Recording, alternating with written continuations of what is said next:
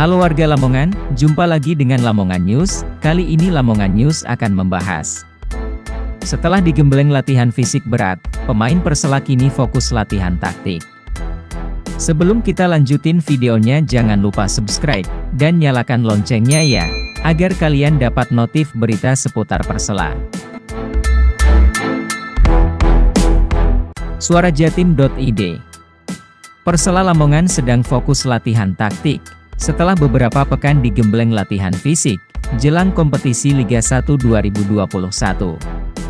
Penurunan volume latihan ini diperlukan, agar kondisi pemain tetap prima ketika kompetisi dimulai. Seperti dijelaskan pelatih Persela Iwan Setiawan, beberapa pekan terakhir para pemainnya digembleng dengan durasi latihan cukup panjang. Menu latihan yang diberikan kepada pemain juga cukup berat, yaitu latihan taktikal, dikombinasikan dengan latihan conditioning. Hari ini mungkin hari terakhir kita di puncak latihan berat, kata Iwan, usai memimpin latihan di Stadion Surajaya.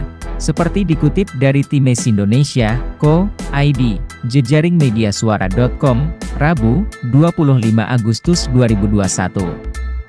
Mulai besok, pelatih asal Medan itu akan memberikan latihan dengan volume yang lebih rendah, namun tetap dengan intensitas tinggi.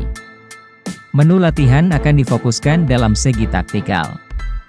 Artinya volume kita turun, jadi waktu latihan mungkin udah tidak terlalu lama, tapi pada latihan itu kita fokuskan untuk kecepatan-kecepatan dan finishing, ujarnya.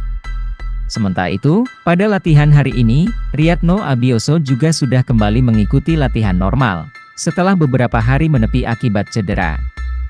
Tadi saya pikir ndak bisa, ikut latihan, tapi saat terakhir-terakhir dia udah ikut game. Jadi artinya di sini memberi harapanlah buat kita untuk persiapan fokus dengan full team, tuturnya. Selain itu, Andri Mulyadi juga akan segera kembali berlatih. Bek Persela Lamongan asal Aceh tersebut, sempat absen cukup lama dari persiapan tim untuk Liga 1, karena sakit yang dideritanya.